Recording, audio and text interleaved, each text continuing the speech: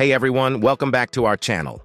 Today, I'm going to show you a quick and easy tutorial on how to change your Instagram business account to a personal account. First, open up your Instagram app on your Android. Next, click on the profile icon in the bottom right corner of your home screen. Next, tap on Professional Dashboard. Now you are in your Professional Dashboard page. Click on the Settings icon in the top right corner, and now you are in Settings page. Now look for Business option in Instagram Settings section and tap on it. Once you are in, look for the option Switch Account Type and tap on it. And now the option page will pop up with options. Tap on Switch to Personal Account. A pop-up will appear asking if you're sure you want to switch. Confirm by tapping Switch to Personal Account. And that's it.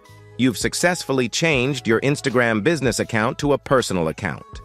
If you found this video useful, please show your support with a like. Your feedback is invaluable to us, so feel free to share your thoughts and suggestions in the comment section below. We're eager to hear from you.